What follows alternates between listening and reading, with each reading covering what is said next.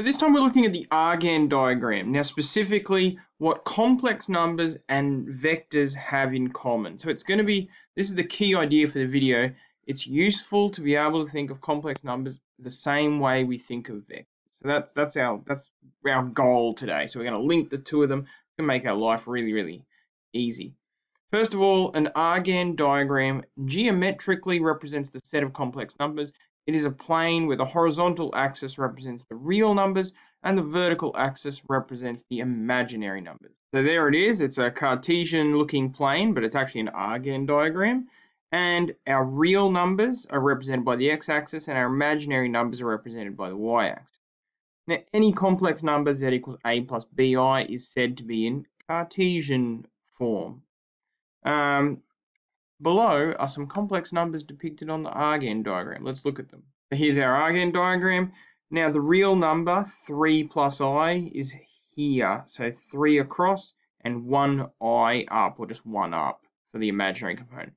Um, here, 2 minus 3i, 2 across, and negative 3i down. And you get the idea.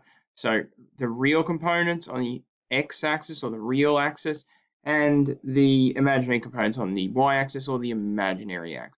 Now, it's probably better to think of these things not as points, but as vectors. All right, now they're vectors. There's little arrows here from the origin out to that point. They're position vectors, but they're also complex numbers. Pretty neat. So now let's play with them as both complex numbers and vectors. So I'm in GeoGebra now. I've got a vector 2 plus 3i, the real component, the imaginary component, See, it looks a lot like a vector. It's a complex number. I can, uh, let's change it. Just move it into the, into the fourth quadrant here. This is uh, 2 minus 3i now. Now, the reason I keep talking about complex numbers and vectors and making sure that we understand that they're linked is because we can do a lot of the things that we do with vectors with complex numbers. So I'm going to uh, put up a second vector now. Uh, let's make this one, let's put it in the first quadrant. So that one's 2 plus 3i, 2 plus 3i. And now what I'm going to do is add those two vectors together.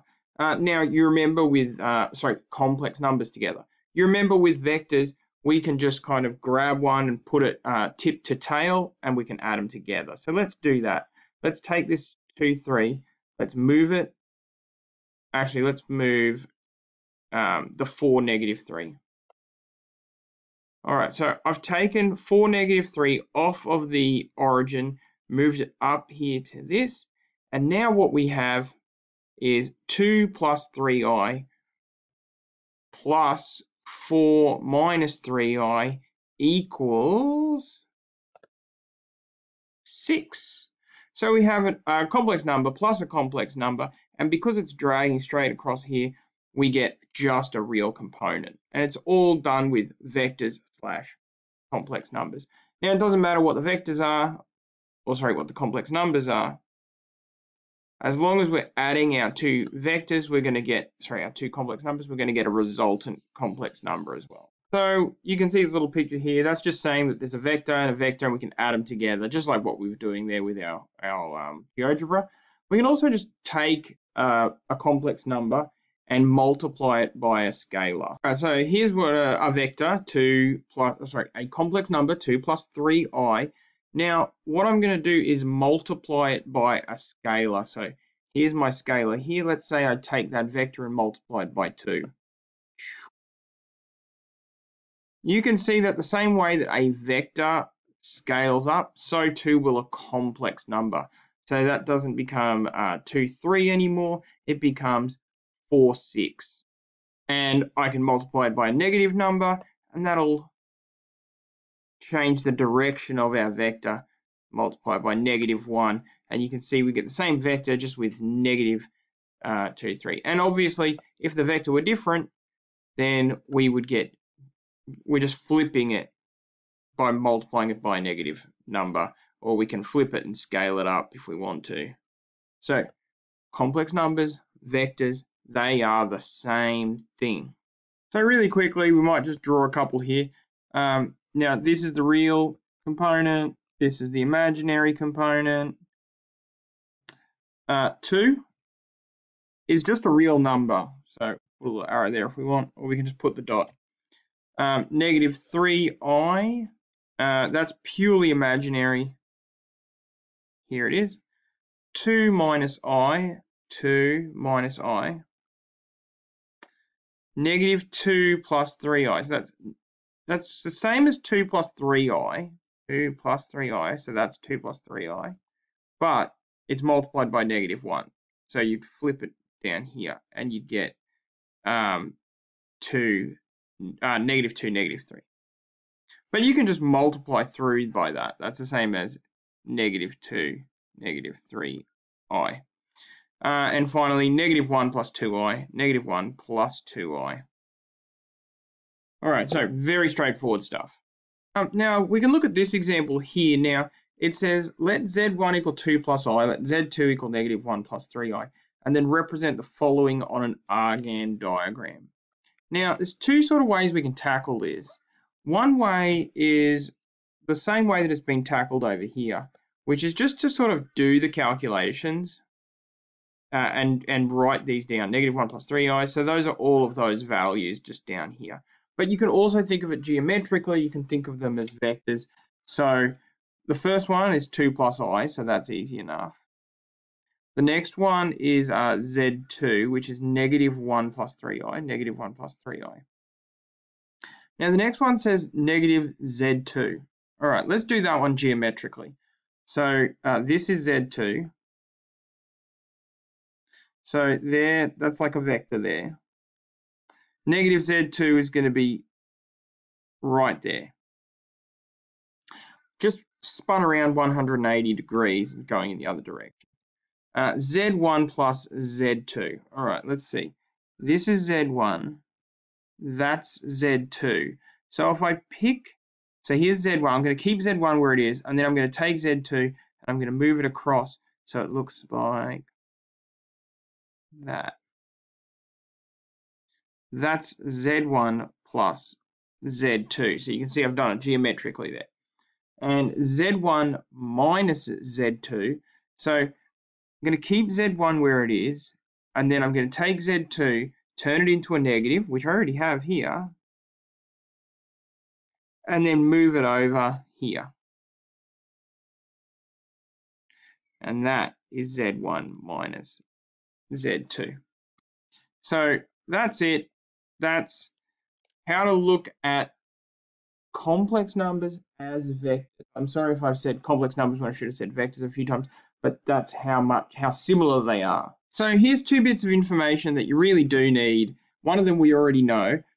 When when a complex number is multiplied by negative 1, it spins around 180 degrees. And you can see we went from Z2 to negative Z2. It just spun around 180 degrees. So that one we know, and that one feels pretty good.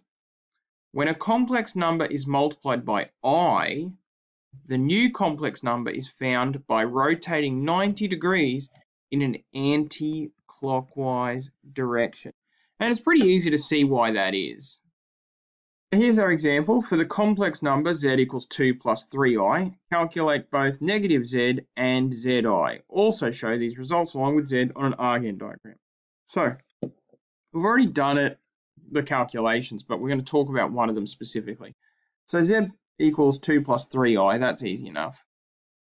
And again, you can think of it as a vector. Uh, negative z is just that one spun 180 degrees. We've done that, so we're okay with that.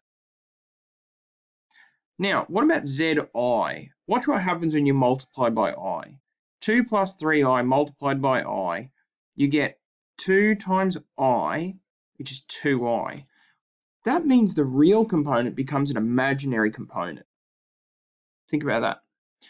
Uh, and then we get this 3i times i, which means we get 3i squared, uh, which is 3 times negative 1, which means that the imaginary component becomes a real component, but it becomes a real component with the opposite sign. Think about why, why that is, you're multiplying by negative 1. Now this has the effect of swapping the real component and the imaginary component um, and rotating our dot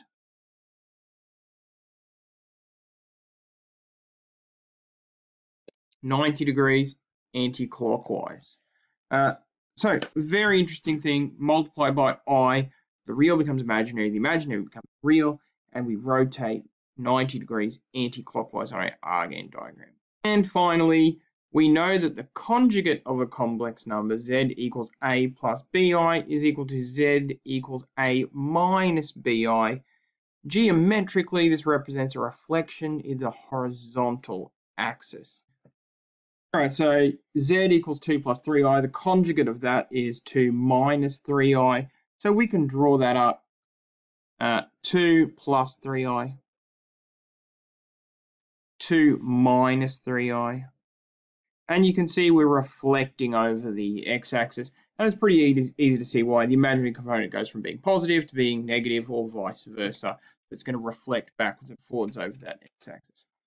All right, this has been a long video, but I hope that we're taking away the key point here, which is complex numbers, vectors, they behave the same ways. Um, and you should see a complex number and you should see it in your mind on an Argand diagram. The same way when you hear a vector or see a vector written down, you see it as an arrow on a Cartesian plane.